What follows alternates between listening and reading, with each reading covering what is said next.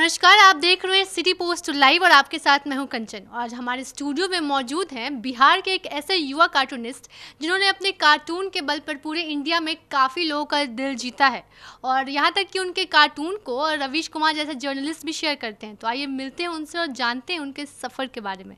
राकेश रंजन जी, आप स्वागत है आपका हमारे स्टूडियो में। शुक्रिया।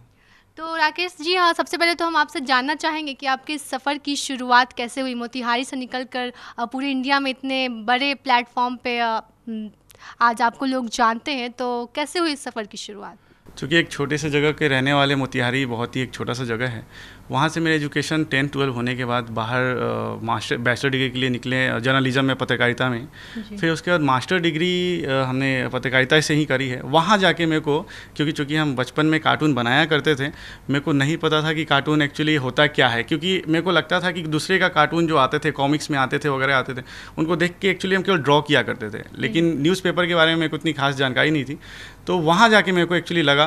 फिर वहाँ से हमने एक पेंसिल और पेपर पे वर्क करना शुरू किया। सीनियर कार्टूनिस्टों को देखा फॉलो किया उसके बारे में जानकारी निकली।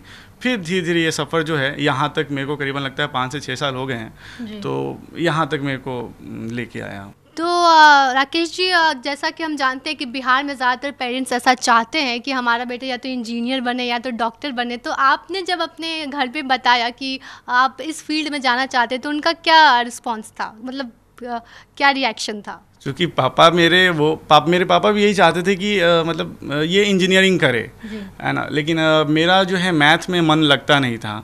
तो हमने पापा को बोला कि अगर आप चाहते हैं तो शायद ही हो सकता है कि हम इंजीनियरिंग चार साल में कंप्लीट कर पाएँ जो कि चार साल में होता है। तो मैं हमने बोला कि शायद छः साल भी लग सकते हैं सात साल भी लग सकते हैं। तो ऐसा हुआ कि पापा ने बोला कि जब इसको रुचि है ही नहीं तो अच्छा ये जो चाहता है उस पर हम लोग कोशिश करते हैं शायद अगर कर पाए तो शायद बेहतर कर पाएगा उस पर तो अब जब आप इतने फ़ेमस हो गए आपके कार्टून को लोग इतना जानते हैं ट्वीट करते हैं रीट्वीट करते हैं तो अब क्या रिस्पॉन्स है आपके पापा का? हाँ अब पापा बस सोचते हैं कि शायद क्योंकि बचपन में हम ड्राइंग करते थे और शायद हमने कोई क्लासेस नहीं करी है इसकी और शौकिया तौर पे किया है। तो शायद अब पापा को भी ये लगता है कि शायद इसको बचपन में अगर सिखा दिया होता तो शायद हो सकता है कि आज इस जगह ना सही लेकिन कहीं और जगह भी हो सकता था। जी। तो कार्टून में इतना ज़्यादा इंटरेस्ट क्यों? मतलब क्या आपको खींचता है कार्टून अपनी तरफ़? क्या है उसमें ऐसा कुछ? अ, इसके लिए तो एग्जैक्ट मेरे पास कुछ सेंटेंस तो नहीं बताएँगे लेकिन ये पता नहीं एक अंदर से ही एक निकलता है कि हाँ मेरे को ना बस कार्टून देख के अंदर से खुशी सी होती है मेरे को। इवन कार्टून शब्द कोई बात भी करता है इवन कार्टूनिस्ट शब्द की बात करता है ना जैसे ही कार्टूनिस्ट शब्द की बात करता है तो मेरे को लगता है मेरा नाम उससे जुड़ा हुआ है। है ना? मैं फिर जब वो कार्टून की बात करता तो मेरे को लगता है कि वो शायद मेरे कार्टून के बारे में ही बात कर रहे होंगे। तो एक अंदर सी कार्टून को लेके मेरे अंदर एक ऐसी खुशी जगती है मतलब उसको ज़ाहिर मतलब शब्दों में तो नहीं कर पाएँगे पर हाँ मेरे लिए वो एक पागलपन है। कार्टून जो है कार्टून की दुनिया जो है मेरे लिए एक पागलपन है।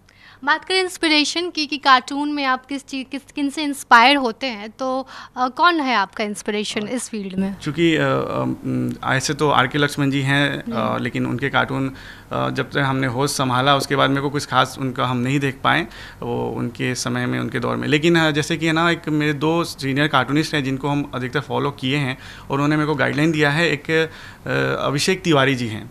और चंद्रशेखर हाडा जी। जी। तो ये दोनों जो हैं हमेशा इनसे मेरी अक्सर बातें भी होती हैं तो कुछ ना कुछ गाइडलाइन देते हैं। इवन इन्होंने अभी अभिषेक जी ने एक मेरे को एक गुरु मंत्र के तौर पे दिया है चूँकि हम बता रहे हैं यहाँ पे कि आप खुद एक आलोचक हो। तो आपकी कोई आलोचना अगर करता है तो घबराते क्यों हो? है ना? तो ये बहुत बड़ा एक गुरु मंत्र है कि आप खुद एक आलोचक हो। तो ऑब्वियस ही बात है आपकी आलोचना पे आप क्यों घबराते हो? तो ये मेरे आइडियल हैं दो जो हैं उनसे ही हमेशा कुछ ना कुछ सीखने को मिलता है बातें होती हैं उनके बारे में। तो राकेश जी फ्यूचर प्लान्स क्या हैं? अभी आप क्या कुछ कर रहे हैं कार्टून के क्षेत्र में? और आगे के क्या प्लान्स हैं इस फ़ील्ड में? अभी तो चूँकि मेरा मतलब है कि कार्टून बनाना जो है, वो बस यही समझ में आता है कि अभी तो गवर्नमेंट के अगेंस्ट में, मेरा जैसे कि बहुत सारी चीज़ें क्रिटिसाइज वगैरह होती हैं। प्लानिंग में अभी कुछ भी नहीं है। प्लानिंग बस इतना ही बताएँगे कि अभी जो गवर्नमेंट है, उसके जो नकारात्मक चीज़ें हो रही हैं इस बीच में उसको लेके कार्टून बनाना है और कुछ नहीं है। चूँकि जो फैक्ट है उस पर काम करते हैं लोगों को अच्छा लगता है साझा करते हैं अच्छी बात है। लेकिन अभी हमने कुछ कुछ खास प्लानिंग नहीं सोचा है कि आगे फ्यूचर में क्या करना है। लेकिन हाँ मेरा ये है कि मेरे को रंगों की दुनिया में मेरे को जीना अच्छा लगता है। और भविष्य में भी हम वाटर पेंटिंग वगैरह इन सब चीज़ों में चाहते हैं उतरना चाहते हैं और उस पर कुछ काम करना चाहते हैं। तो राकेश जी बिहार के युवा जो इस फ़ील्ड में आना चाहते हैं उनको आप कैसे मोटिवेट करेंगे इस फ़ील्ड में आने के लिए? इस फ़ील्ड में आना है बहुत ही इंटरेस्टिंग फ़ील्ड है इसमें आ सकते हैं। बस बाकायदा इसमें है ना कि आपको पढ़ना बहुत ज़रूरी है है ना? किसी भी सब्जेक्ट में हो पॉलिटिकल हो सोशल हो या इतिहास से भी रिलेटेड चीज़ें हैं तो आपको क्योंकि किसी भी क्षेत्र में काम करना है तो आपको पढ़ना पड़ेगा। नहीं पढ़ पाएँगे तो शायद अच्छा एक पंच आप नहीं दे पाएँगे। तो लोगों को मज़ा नहीं आ पाएगा। तो इस तरीके से आएँगे कि हाँ लोग अगर आना चाहते हैं तो कृपया वो स्टडी करें पहले। तो राकेश जी कार्टून के अलावा आप किस चीज़ में दिलचस्पी रखते हैं? क्या हॉबीज़ है आपकी? जब आप फ्री टाइम में होते हैं तो क्या करना पसंद करते हैं? बचपन से दो ही काम करा है। पढ़ाई में एवरेज रहा है हमेशा और बैडमिंटन खेला है जो जो कि नेशनल खेला है और एक कार्टून बनाया है। बस मेरे को दो ही काम आते हैं। बैडमिंटन नेशनल लेवल तक खेला तो उसे कंटिन्यू क्यों नहीं किया? क्योंकि ये एक जैसा कि आप जान रहे हो आप बिहार की जो अपनी जो है एक तो श्रीवास्तव फैमिली से हैं जिस फैमिली से बिलोंग करते हैं और बिहार जो है अपना इतना डेवलप नहीं इन सब चीज़ों में मेंटली तो कहीं ना कहीं पापा भी इन चीज़ों में ज़्यादा नहीं दिलचस्पी दे पाए कि हाँ इसको आगे मेरे को खिलाना चाहिए या ड्राइंग में इसको आगे कुछ कराना चाहिए। तो नहीं हो पाया। लेकिन आज पापा को बहुत खुशी होती है कि हाँ ये मतलब जो चाहता था वो किया और कर रहा है। तो उनको भी अच्छा लगता है जब पेपरों में नाम छपते हैं या कार्टून बहुत सारे शेयर होते हैं तो उनको बहुत खुशी होती है। इवन इतना प्राउड करते हैं कभी कभी अपने फ्रेंड्स को भी बताते हैं कि हाँ ये मेरे बेटे का कार्टून है, ये ऐसा है वैसा तो ये सारी चीज़ें होती रहती हैं। तो राकेश जी जितने भी कार्टूनिस्ट हैं अभी फ़िलहाल वो बिहार के नेताओं पे काफ़ी ज़्यादा फोकस करते हैं और बिहार में भी लालू प्रसाद यादव के कार्टून पे काफ़ी फोकस करते हैं। तो आपने अभी तक उनके कार्टून्स बनाए हैं कि नहीं? और बनाए हैं तो क्या रिएक्शन होता है उन पर लोगों का? लालू प्रसाद वाकई में आ, मतलब बिहार के लिए नहीं एक पूरे देश के लिए ही वो एक कार्टून कैरेक्टर के तौर पे काफ़ी फ़ेमस भी रहे हैं। और अभी तो वो जेल में हैं जहाँ तक कि तो जो चीज़ें हैं उन पर कार्टून बनाने में भी लोगों को मज़ा आता है क्योंकि उनकी बोलने का जो स्टाइल है काफ़ी का, अलग, काफ़ी अलग है और उस पर लोग मज़ा मतलब होता कभी कभी ऐसा भी होता है कि किसी और कार्टून पे भी उन्हीं की लैंग्वेज के साथ इस्तेमाल किया जाता है। और हमने भी बनाया है कार्टून पे उन पर बनाया है बाकायदा लेकिन ठीक है लेकिन बनाने के बाद तो चीज़ें हो जाती हैं कि वो क्रिटिसाइज होती हैं वो सारी चीज़ें भी होती हैं हमारे साथ। और मज़ा आता है मतलब लालू यादव एक अपने में ही एक बहुत अच्छे पर्सनालिटी हैं और बहुत अच्छे फ़नी भी हैं बहुत फ़नी मूड पे हैं और उनके कार्टून अक्सर लोग बनाते हैं वो रिएक्ट नहीं करते हैं। इतने अच्छे उनकी उनका स्वभाव इतना अच्छा है कि कार्टून पे कभी रिएक्ट नहीं करा उन्होंने कि उनके कार्टून इतने फ़नी लोग बनाते हैं अक्सर बनाते हैं जिनको मन करता है वो बनाते हैं लेकिन वो रिएक्ट नहीं करते हैं।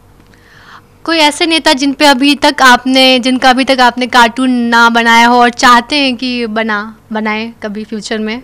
ऐसा अभी तो नहीं, लगभग हमने सभी नेताओं को टच किया है क्योंकि मेरा इसीलिए कहीं ना कहीं कार्टून शेयर भी हुए हैं लोगों के बीच में कि कोशिश मेरा यही रहता है कि सारे के सारे नेताओं को टच करना और छोड़ना नहीं, किसी को नहीं छोड़ना क्योंकि जो है सो दिखाना है अपने को ऐसा नहीं के फेवर में नहीं होते किसी के फेवर में नहीं होते न्यूट्रल है। हाँ। न्यूट्रल है। और चूँकि ज़्यादातर कार्टून जो बनते हैं वो सरकार के अगेंस्ट में बनते हैं। क्योंकि सरकार जिसकी है वो उसी की चीज़ों पे तो हम बात कर सकते हैं ना। नहीं तो वो वैसे पत्रकार क्या वैसे कार्टूनिस्ट क्या जो कि एक सरकार की आलोचना नहीं कर पा रहे हो।